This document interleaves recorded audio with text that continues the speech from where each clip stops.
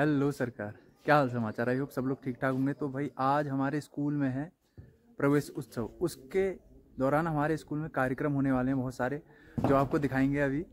तो चलिए स्टार्ट करते हैं। आप बोलोगे कुछ?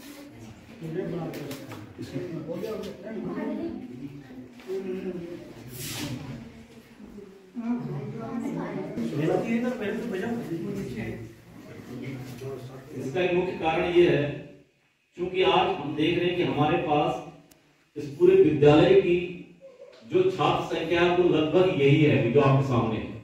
मैं एक बार पुनः आप सभी का, जिन्होंने भी यहाँ पर अपने बच्चे, अपने बाल्य हमें हमारे विद्यालय में भेजे, उन सबका मैं हार्दिक अभिनंदन करता हूँ।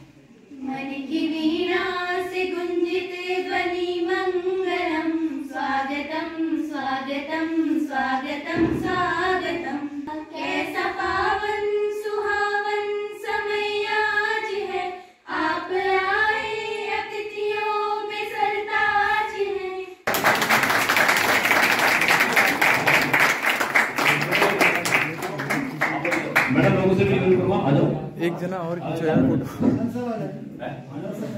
हाँ आनंद जी। आनंद जी, आप एक लेकर कभी कभी गलती हो जाती है। आप-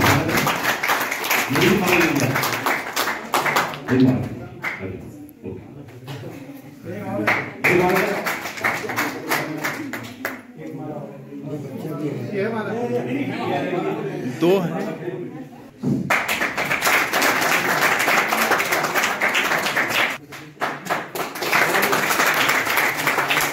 बहुत बहुत धन्यवाद सर आप सभी लोगों का। और हमारे बच्चों का जो नए प्रवेश वाले बच्चे हैं यहाँ पर इनका एक बार पुनः से स्वागत पुनः से आज का जो कार्यक्रम है ये कार्यक्रम विशेष तौर पर हमारे वहाँ नव प्रवेशी बच्चों के लिए आयोजित किया जा रहा है और ये ऐसा नहीं कि हमारे विद्यालय में आयोजित किया जा रहा है। ये भी उत्तराखंड में हर विद्यालय में इस समय ये कार्यक्रम चल रहा है। हमारे विद्यालय का जो रिज़ल्ट आप देखेंगे, वो दो साल का ही रिज़ल्ट मैंने अभी बनाया है। दो हज़ार बीस इक्कीस, इससे पहले साल में 36 बच्चे हमारे हाई स्कूल में थे और 36 के 36 पास हुए। जिसमें से 23 बच्चे फ़र्स्ट आए हैं।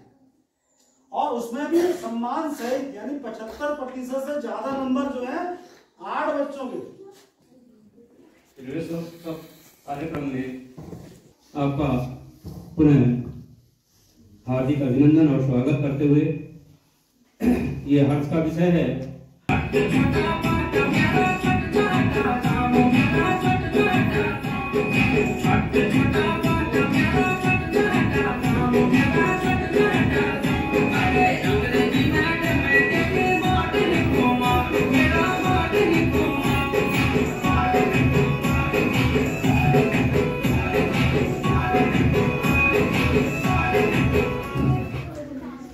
गजब की प्रस्तुति, बहुत बेहतरीन प्रस्तुति हमारे छोटे छोटे बच्चों ने दी। बहुत छोटे छोटे बच्चे हैं। एक तरफ़ तो हम कभी सोचते हैं कि हमारे विद्यालय में छात्र संख्या कम है, संख्या कम ज़रूर है, लेकिन जो है वो बहुत अच्छा है।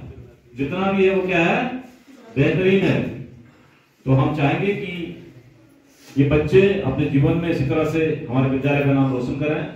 और सबसे जोरदार तालियाँ जो बहुत छोटी बच्ची है, जो एकदम नई आई है क्योंकि क्योंकि मैं सर्वप्रथम माँ शारदे के श्री चरणों में नमन करते हुए अपनी बात को रखता हूँ आगे हमारी तरफ़ से भी पूरा सहयोग रहेगा स्कूल को आगे समय समय पर हम आते रहते हैं हम बच्चों को प्रोत्साहित भी करते रहते हैं आदरणीय आचार्य महोदय शिक्षकगण शिक्षाएँ और एसएमसी अध्यक्ष पंत जी और पीटीए अध्यक्ष पांडे जी सभी का जो आज का जो प्रोग्राम है कुछ लोग पब्लिक स्कूल में जाते हैं तो क्यों जाते हैं? आपने कभी सोचा? एक तो ये कि उनके पास पैसा है, और जिसके पास पैसा नहीं, वो भी भेजता है। क्यों भेजता होगा क्योंकि हर कोई चाहता है कि उसका बच्चा क्या हो? स्मार्ट हो इंग्लिश बोले। कभी भी समाज में जाए तो वो क्या हो? सबके सामने अपनी बात को रख सके। आप मुझे ये बताइए क्या ये इंग्लिश स्कूल में ही पॉसिबल है? इंग्लिश मीडियम स्कूल में ही पॉसिबल है या कहीं भी पॉसिबल है?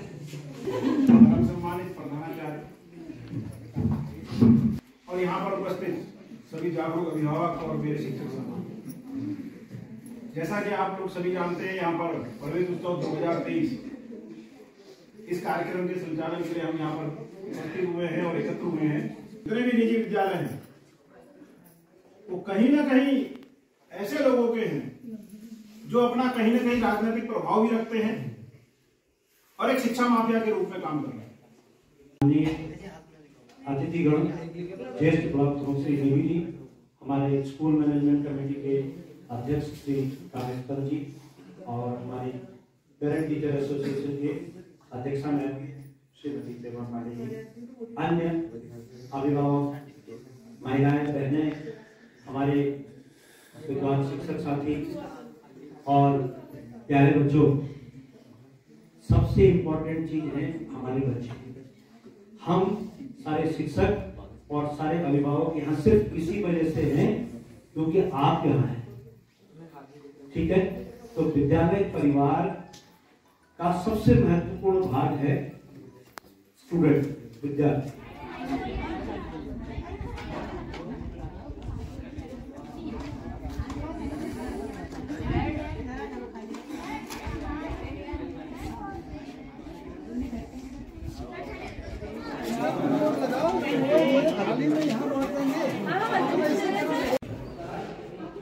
फिर आप कर रही है ना मैं वहाँ से उठा के डाल दूँगा